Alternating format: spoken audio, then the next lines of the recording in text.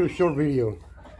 Uh, put my white and True Blues together today to do some reading.